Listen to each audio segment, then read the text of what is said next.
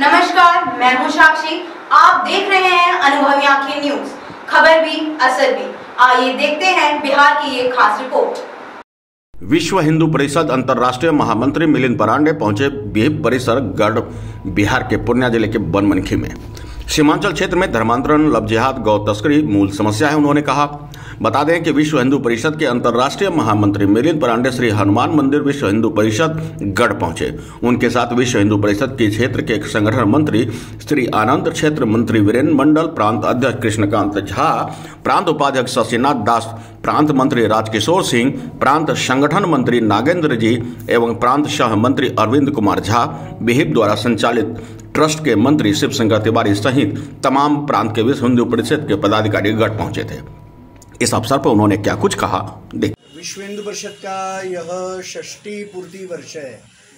यानी विश्व हिंदू परिषद साठवां वर्ष प्रारंभ कर रही है तो ये जन्माष्टमी जो अगले माह आएगी सात सितंबर से, उससे प्रारंभ करके अगले वर्ष के जन्माष्टमी तक विश्व हिंदू परिषद के जन्म से लेकर साठ वर्ष होने वाले हैं। तो पूर्ण देश भर में अपने कार्य के विस्तार के बारे में विश्व हिंदू परिषद प्रयास करेगी। और इसलिए अभी पूर्ण देश भर में कम से कम एक लाख स्थानों तक अपना कार्य फैले, इसका हम प्रयास करेंगे। साथ ही में विश्व हिंदू परिषद के जो अलग अलग कार्य है, जैसे गौशाला का वर्ग काम है, गाय की रक्षा का काम है, समाज का जो कमज़ोर वर्ग है, उसके शिक्षा की व्यवस्था है ऐसे अनेक प्रकार के काम विश्व हिंदू परिषद करती है। तो यह बनबनखी में एक जगह अपनी है विश्व हिंदू परिषद की। तो वहाँ पर भी इस क्षेत्र के समाज की सेवा के लिए, किसानों के प्रशिक्षण के लिए हम कुछ करना चाहेंगे। और यहाँ के बच्चों के लिए भी कुछ ना कुछ हम कार्य करना चाहेंगे शिक्षा के क्षेत्र में। तो हमारा ये प्रयास रहेगा कि ये कार्य खड़ा हो। दूसरा विषय कि पूर्ण बिहार में अभी पिछले कुछ दिनों में जिहादी इस्लामिक शक्तियों ने हिंदुओं के ऊपर बहुत सारे आक्रमण किए हैं। नागपंचमी के दिन जो यात्राएँ निकली, उसके ऊपर अनेक जगह पर हमले हुए हैं। तो मुझे लगता है कि राज्य सरकार ने ऐसे जिहादी हमलों के ऊपर नकेल कसने की आवश्यकता है।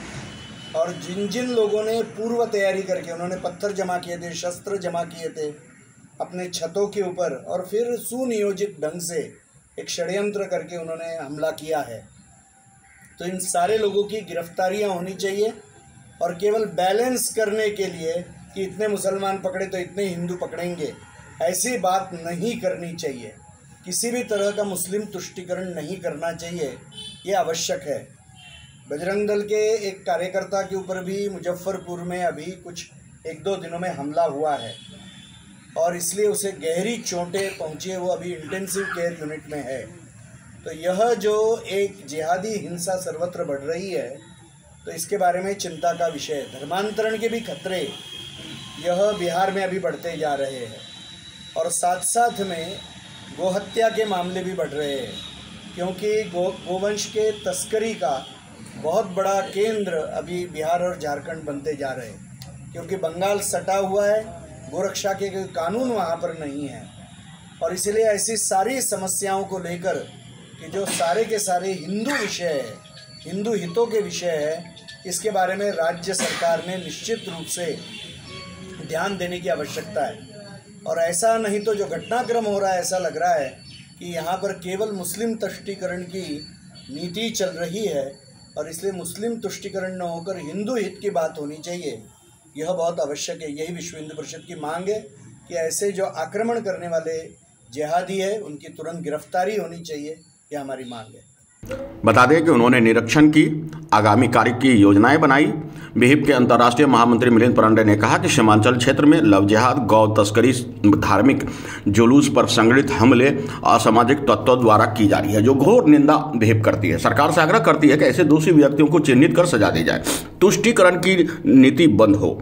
प्रभु श्री राम जन्मभूमि का मकर संक्रांति उपरांत सार्वजनिक रूप से दर्शन हेतु पट खोलने की योजनाएँ बनाई जा रही है। विश्व हिंदू परिषद, गढ़ में गौशालाएँ एवं किसान प्रशिक्षण केंद्र, निर्धन छात्रावास विधि द्वारा चलाए जा रहे योजनाओं की समीक्षा कर जल्द ही संचालन करने की बात भी कही। आपको बता दें कि ट्रस्ट के मंत्री शिवशंकर तिवारी ने कहा कि बहुत जल्द बनमनखी की सभी योजनाएँ की शुरुआत कर दी जाएगी। उन्होंने कहा कि विश्व हिंदू परिषद के कालीचरण कंठ, जिला अध्यक्ष पवन पोद्दार, प्रखंड मंत्री सुधीर कुमार यादव, डॉक्टर अशोक यादव, कोषाध्यक्ष राम कुमार यादव, अशोक कुमार पोद्दार, श्रीकांत तिवारी, कृष्णकांत गुप्ता, रंजीत गुप्ता, साजन कुमार, विजय कुमार, प्रखंड सहमंत्री नवीन कुमार, श्यामदेव पासवान, मंटो दास, नागो मंडल रणवीर सिंह, पंकज सिंह, शुभम भारद्वाज, गोविंद झा, बम्बम केसी आदि सभी मौजूद थे और सभी ने एक स्वर में कहा कि यहाँ जल्द ही सभी सुविधाएँ आरंभ की जाएगी। अनुभवी आँखें न्यूज़ के लिए बनमनखी से गौरव गुप्ता की रिपोर्ट। तो आज के लिए इतना ही। हमारे साथ बने रहिए और खुद को रखें अपडेट। तो देखते रहे अनुभवी आँखें न्यूज़। और हाँ पढ़िए भी अनुभवी आँखें अखबार। हमारे वॉलंटियर सदस्य बनिए और आधार कार्ड फ़ोटो कार्ड की फ़ोटो कॉपी भेजते हुए हमें इस नंबर पर कॉल कीजिए। Eight eight two six two two seven eight zero two. Like और सब्सक्राइब करना ना भूले दोस्तों।